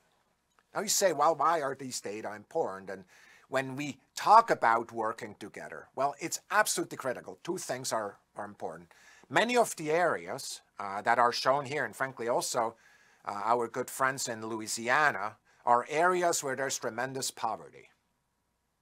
And frankly, it's absolutely critical for us to work together to support our community uh, whether it's in Michigan or whether it's in areas like this, where, frankly, there is not enough money or business to help each other. This is, when we talk about coming together and building new horizons together, it's critical to see that in a comprehensive fashion and see that driven by the empathy that so many of you bring to work each and every day, as I said at the beginning. Secondly, there are many areas, many businesses that frankly can take ideas like this and uh, data like this that we're providing and making openly available and utilizing it for your own community There's areas, there's data of crop, there's data of flooding, of snow cover, of many other things. And frankly, we invite all of you, business leaders and kind of innovators, to work with us on these data and make the data useful for your own community. Because the only way we can succeed achieving this horizon is to succeed together. Succeeding together is what we do in all of our projects, like we said, whether it's on the International Space Station, kind of a, a beacon of hope and peace. Uh, sometimes, you know, together with our Russian colleagues, when sometimes the countries kind of struggle with each other, our astronauts have been there together for 20 plus years. You know, frankly, uh, the looking at our Earth, and of course, looking um, at the James Webb Space Telescope that's going to uh, launch in the near future. Here shown uh, with a youngster that is really excited about this. Looking at developing new uh, telescopes, new missions here, but just as importantly, here on Earth, coming together uh, as one, crossing boundaries that sometimes people want to put on us, and achieving horizons of hope horizons, new horizons of help and empathy coming together because we see the humanity in each other and the empathy that drives us to create action. Yes, it is exciting to go outside and show and demonstrate the power of teams. It's just as exciting and so important for all of us, and especially the business community that I'm happy to address today, to come together also here and show the power of hope the power of collaboration and empathy as we come together and help each other. I want to thank you again for the opportunity to speak with you uh, today, and I look forward to the discussion. Thank you, Thomas. Very interesting, very exciting, uh, and collaboration uh, and data seem to be the two words I hear consistently through the four presentations we had today. And speaking of collaboration, uh, I'm introducing now Mike Psarouthakis. Mike and I have been collaborating and we created this program, what, about four years ago uh, between Ann Arbor Spark and the University of Michigan's Tech Transfer Office, which is now called, by the way, Innovation Partners. Um, but Mike, it's been a pleasure, good friend. We've enjoyed putting these programs together every year. It's been exciting to get the quality of presenters that we have like today. Very exciting. Uh, by the way, I don't think I ever introduced myself. Skip Sims. I'm with Ann Arbor Spark. I am now going to exit the stage and turn it over to you. Go, Mike. Thanks, Skip. And uh, as Skip mentioned, I'm Mike Psarouthakis. I'm the Director of Ventures at Innovation Partnerships, which in fact is uh, a new name for the what was formerly known as the Tech Transfer Office at the University of Michigan. We launched that name today. Uh, so please come and uh, do a Google search. You'll be able to find uh, our new website and some of the new programs we're trying to implement uh, to help commercialize the research coming out of the University of Michigan. Um, we have very limited time and a number of questions, so I'm going to get right to it. Thank you, everyone, for those presentations. They were fantastic. Um, and I'll start off with the first question. Um, the pandemic has been a hardship and tragedy that has caused disruption and change around the world. Yet some of these changes, as you, as many of you have mentioned in your presentations, will have positive impacts on society, research, and industry in the future. So I, I would like each of you to anticipate from your own perspectives uh, one change that will result from the challenges we are facing now um, that were presented by COVID. And why don't we start with you, Mingyan? Um, Thanks, Mike. Uh, so I will name the obvious one. I think we're going to see a lot more things that are hybrid. Um, I think uh, one uh, outcome of the pandemic is we have gotten so much more comfortable at using these remote technologies, not to mention we now have a family of very good tools to uh, enable that. Um, the other thing, however, is that I think we now have a newfound appreciation for physical in-person interaction. You know, I'm on the front line of teaching and we hear this over and over again from students. Uh, that just cannot be replaced by by this type of uh, technology. I think, you know, hopefully we're going to see this as an augmentation, as a way to to make scheduling easier, uh, to bring people from different parts, uh, different parts of the world, different time zones together easier, uh, to uh, provide more greater flexibility. Uh, and yet, uh, I think it's it's now clear there are things that this is not going to replace. But I think we'll we'll be out of this in a stronger position. Great, thank you. how about you, Peter? Yeah, I guess adversity always uh, creates opportunity, right? If, uh, to echo what uh, Mingyan was saying, uh, we've always all become more comfortable with sort of the digital world as well. And sort of in my space, in the, the blockchain, the crypto space, I mean, this has been really a, a boon. We've seen quite a bit of an acceleration of adoption of, uh, you know, distributed financing platforms of, of global trades, even for smart for small companies that can do this over uh, uh, um, blockchain networks, uh, working with big banks. So there's so I mean again, we see these new opportunities being created that didn't exist before and that were essentially forced upon us by not being able to, I guess, meet in person and sit around boardrooms and, and whatnot. I mean, that are now all being transacted, you know, digitally. Thanks. Thomas, what do you think? So mo- the most important benefit, of course, uh, we got to know our leaders. They were always, they always had strengths and weaknesses. And we got to know ourselves. Uh, we learned how we actually lead under pressure. We do that sometimes and people don't see us on camera, uh, but we learn. So kind of, uh, first of all, we should take those lessons and uh, recognize that the lessons that we learned during that time also apply when there's no uh, pandemic. I'm going to answer uh, the, the question kind of from a point of view of uh, a guy who uh, whose organization built spacecraft. And I just want to uh, tell you that, of course, you can't build a spacecraft on Zoom. Uh, however, uh, what we learned is that there are quite a number of efficiency measures we can put in. Now, once you say, hey, we want fewer people in the room, which, by the way, is financially a good thing, also, uh, we actually learned how to do some processes much better and smoother. We learned how to shift work in a different fashion that, frankly, we're not going to lose. It's just better. We would have never gotten those ideas uh, if it wasn't for the pandemic. So, so just like uh, uh was said earlier, right? There's opportunity that comes from that. Uh, I'll give you one more example. Uh, we run a research program. We have a lot of peer review close to a billion dollars uh, goes through every year in which we run peer reviews. Uh, we used to do all these peer reviews by jetting people from all over the world to sit in a room. We're never going to do that again, except for areas where we need to actually have argue with each other a lot more than a, a general peer review. There's certain limits we learned.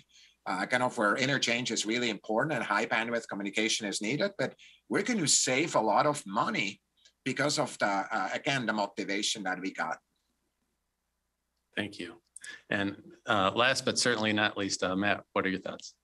Well, I would say um, we learned a lot about how to squeeze the inefficiency out of the innovation ecosystem. Uh, in the example of COVID vaccines, um, COVID diagnostics, we realized that if we took a look at that process very carefully and, and with increased level of urgency, about how to get from the beginning of that process to the end, we came up with lots of innovative ways to squeeze inefficiency out of that system and, and go between a idea and a product in, in really lightning speed with, with an equal amount of safety and effectiveness. And I think that many of those lessons are transferable outside of healthcare to other uh, spaces. And so that's one thing. And another thing is we really it, really highlighted the need to focus more on collaboration between different components of government so we realized that instead of just thinking of healthcare as a one component of the federal government, we realized that we needed to work together with the Department of Defense for logistics and pandemic preparedness. We needed to work together with other components of, of HHS, like the Center for Disease Control and Prevention. We needed to work with the Department of Agriculture to understand how we could reach underserved populations that, that they reach through food distribution programs and food box programs. And I think that that attention to collaboration between the diff- different parts of government will serve us well for emerging challenges in the future, whether they be related to climate change or um, or any of the other challenges that that we'll see. Great, thank you all. So we've had uh, several come in now um, uh, that are to the entire panel. I think would be of most interest for the audience. So. Uh, one of them from uh, Denise Graves from the MEDC, um, a great discussion in innovation and technology. Um, most of you are familiar with what's going on in Michigan. So we, she asked specifically, where does Michigan have the best opportunity to take advantage of these key technologies? And what should we do to position ourselves to grow and compete? Um, Thomas, why don't we start with you on that one? I was afraid you're going to do that because I, as of five years ago, I thought I'm pretty okay understanding what Michigan can do. And I recognize that over five years, a lot changes. Uh, so first of all, Michigan is uh, an incredible state, right? Especially uh, during the time of uh, COVID, you know, number of people picked up their office and moved to Michigan. I know a number of new Yoopers who are there now uh, because they can be there and work from there uh, because of that. So it's just an incredible capability. I, I also believe that the uh, manufacturing ecosystem is becoming is and it will remain really important as we go forward. I do believe uh, investments in that ecosystem and, and also creating focus areas in, in areas where, of course, the state, you, uh, Mike, and your colleagues know better than I do, uh, to really drive towards, uh, uh, you know, into depth and really create critical mass is, is going to be critical uh, as we build you know, in in this in this world overall. You should know, in my world, space, uh, aerospace, uh, we've seen one of the largest increases ever. Uh, frankly, you know, uh, only matched, I would say, right at the, you know, kind of at at uh, uh, at the beginning of the space world, right? Kind of the increases are going up both in the commercial sector, which is looking for areas to locate, but also in the area of government. basically, every agency is up especially also the Air Force and others, right? And and frankly, we have an enormous shortage of supply chain. Frankly, we talk about supply chain on a day-to-day basis. So I just uh, really think those are discussions where Michigan can lead, and uh, with the good innovations from the University of Michigan and other partners, will can really get. Uh, kind of ahead of it and uh, and take advantage. But I'm really interested in the other answers from the panelists. Thank you. Um, Matt, you know, you know some of our startup projects through through your work uh, that have come out of the U. So why don't you go next? Yeah, I think uh, Michigan, definitely the the combination in Michigan that is so powerful, I think, is really centers around three different pieces. One is a super strong higher edu- R&D intensive higher education environment. So that's really the lifeblood of early early stage innovation, and that you have that in a very strong way in Michigan.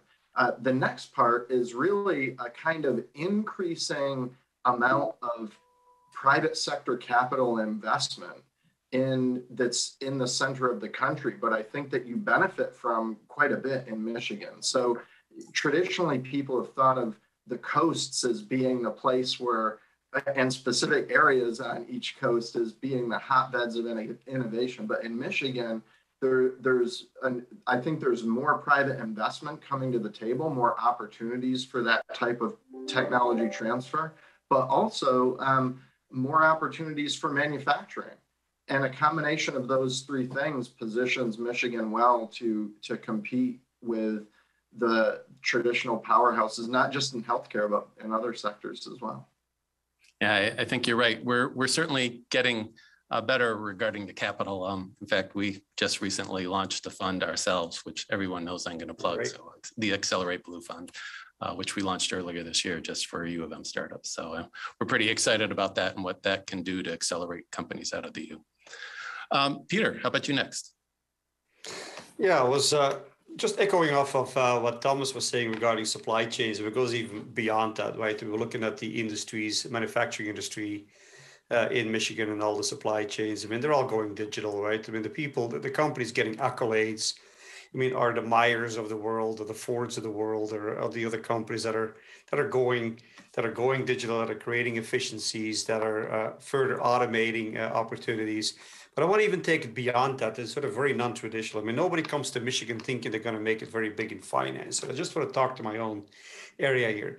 FinTech, the, the purpose of, or one of the disruptive effects of FinTech means that capital doesn't need to be in New York or capital doesn't need to be in Toronto or in Chicago or elsewhere. Mean, in fact, there is actually a digital corridor being developed between Toronto and Chicago. I guess it was in between, right? I mean, there is no reason why we can't be the tech, the tech partner to actually fuse up these two parties.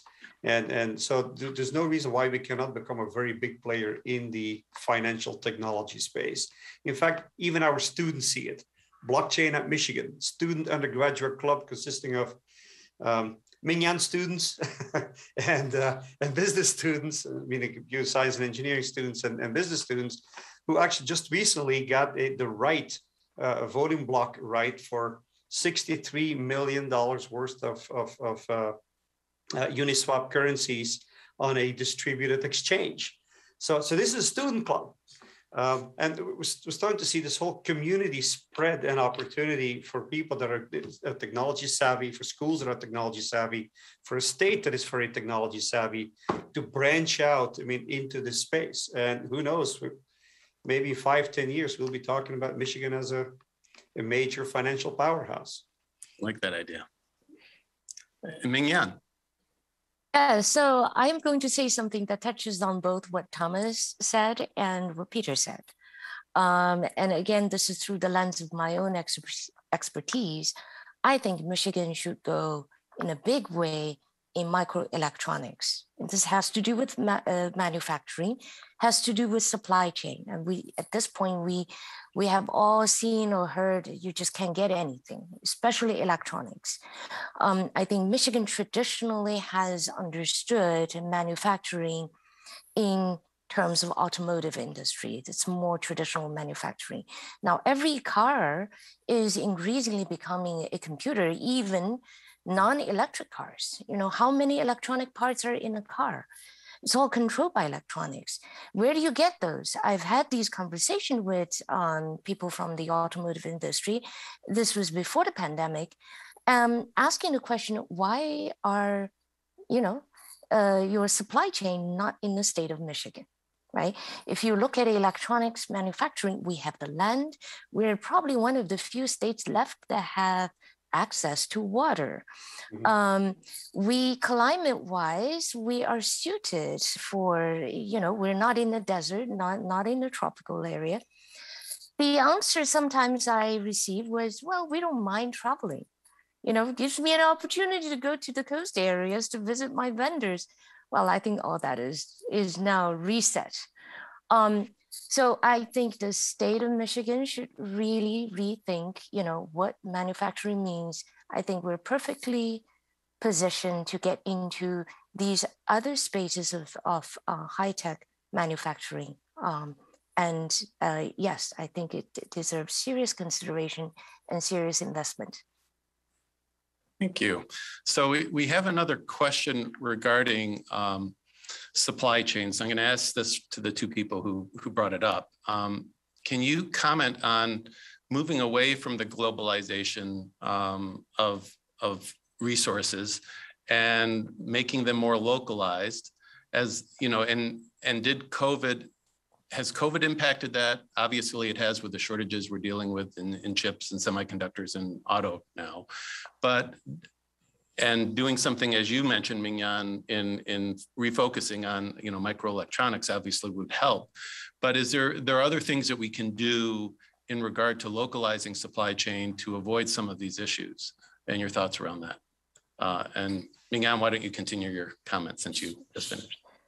Sure. Um, so I think, as Mike just said, we are seeing some sectors realigning um, where their suppliers are. Um, it's not just a pandemic, it's the Suez Canal, ship got getting stuck, you know. um, it, various things can contribute to um, to disasters. Um, I I will say though, I think some things have yet to be seen in the sense that um, depending on how long, on one hand, you know, I think everybody is hoping that this pandemic will be over as soon as possible, right? Anything to get us out of this. Uh, on the other hand, if we, and I'm not saying we, we, we, I don't wish for a quick uh, resolution, um, memories can be short. I know in some sectors, the minute you start flipping that switch and say, we're moving our suppliers out of this continent, we're moving to something else, that decision probably is going to stick because you, it's a major um, uh, investment. You, you, you have thought, thought it through uh, five years down the road, you're going to stick with that. And once those decisions made, it's very hard to unmake them. Uh, there are, however, I think a lot of sectors where this episode can become just short-lived, you know, a blip in a in a rear view mirror. Um, and I think it is important to not let those lessons fade. Um, I don't know if I have more concrete things to offer, so I'll just leave it at that. That's great. And and Thomas, you also mentioned it briefly. Uh, what do you think? I just want to give you an example, just so you know what we're facing, right? So so basically, most spacecraft that are three-axis stabilized have momentum wheels. Those are kind of uh, uh, wheels that take uh, when the spacecraft wants to turn, takes the momentum out and spin them up. So you stay focused on one place, whether it's one of those data, you know, that I data sets that I showed with a laser or a camera or whatever in various agencies. So basically this, and this has nothing to do with COVID or very little to do with COVID, but basically uh, this year, we had to replace because a single supplier provided basically 80% of all the momentum wheels worldwide. Uh, we had to basically, launches were stopped, uh, including my launches were delayed to the right uh, because, and they're nowhere near done. There's a huge cascade effect. Basically, launches in uh, worldwide were basically stopped because of that one supplier. That we recognize now, and you know, for what it's worth, I talked to leaders. I was a the phone with the director of the uh, NRO, and you know we talked to the Space Force, and we all have problems. We do not believe we have an acceptable supply chain solution that can manage what we're doing. Uh, we are actually creating, uh, you know, we're coming up with strategies to really try to drive kind of enhancing the supply chain that we have, but also really making commitments to in in some cases see in our case much of this is also export control depending on how it's manufactured so, you know, uh, uh, kind of the suppliers from abroad uh, are not really viable in, in some areas. Uh, that's a, a small set where the export control is really providing that boundary. But we need, uh, for national security reasons and for leadership reasons, we need a supply chain in our space that that really is is there for us, uh, even in a time of need, which we have right now. So so we're in dire straits. I have supplies uh, that uh, in a standard kind of, uh, some, for example, an FPGA. Uh, those of you know what that is, of course, to know. The others, I won't worry. But you know, an electronic part like this, a programmable part, we have delay times that uh, are 10x longer than they were uh, two years ago. So we have. So I, I, what is what, what our calling, you know, what you just said, Mingyan, I, I really agree with there's tremendous opportunity and I think uh, a willingness, uh, you know, to for many to chat. Again, this is just my industry. I don't know. I cannot speak about others with the same authority. Great, thank you. Um, Peter, uh, we have an interesting question regarding El Salvador's adoption of uh, cryptocurrency recently. And what are your thoughts around that? And also, do you think other countries will follow their lead? um, this is a very interesting question. There's right now 29 countries um, that where um, central banks are um, starting to adopt digital currencies that are one-to-one backed with their own fiat currency, which is slightly different from what El Salvador is doing, doing that just saying we're going to go to completely digital payments. There, you know, there, there has to be, uh, I mean, in my view, I mean, there, there has to be a some backing by um, or tied to through a stable coin with a fiat currency. We are seeing more and more of it. I mean, in fact, I wrote this paper in uh, um, Bloomberg Sea Lab on sort of digital financing of infrastructure. The first call I got was out of Africa. And uh, they said, you know, we're actually applying, you know, our digital currencies, I mean, across a trans-Africa corridor from east to west. I said, why are you guys applying cryptocurrencies? Because, well, we do not trust the banks.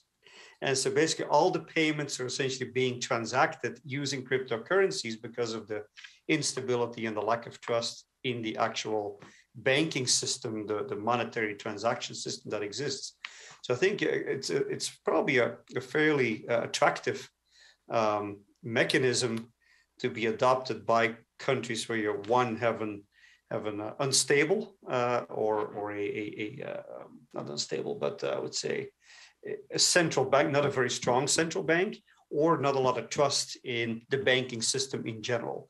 I mean, that's what makes potentially this this, this attractive. But you know, it probably has its own pitfalls. We'll have to see how that's going to work out for El Salvador uh, to do this and see you know what the what the the the, the, uh, the constraints are going to be about the deployment of doing that. Thank you. Um, so Matt actually uh, chimed in and I missed his chat. Uh, he has a comment about supply chain too. And given what we're going through, I thought it'd be interesting to hear.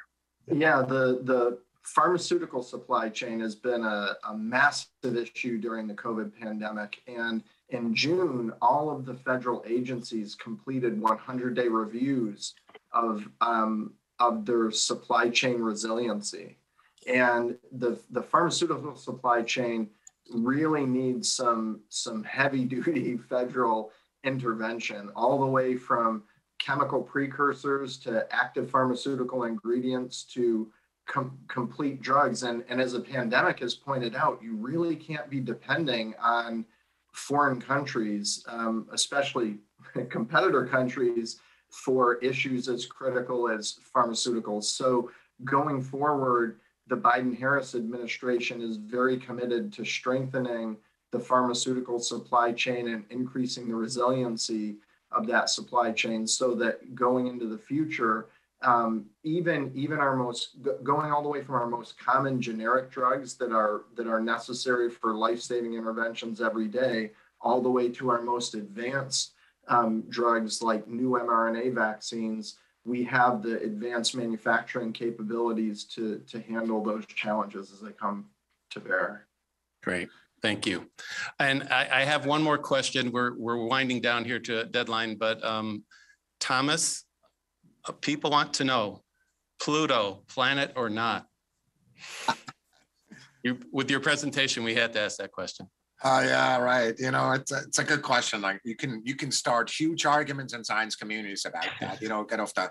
For me, uh, when I, I the way I learned the planets Pluto is always on one of my fingers, and kind of nothing matters uh, about this. And the point really is, if today we discovered Pluto, we would not call it a planet because there's tens of thousands of planets out there. So it's a dwarf planet. I have zero issue with anybody calling it a planet because that's what I do.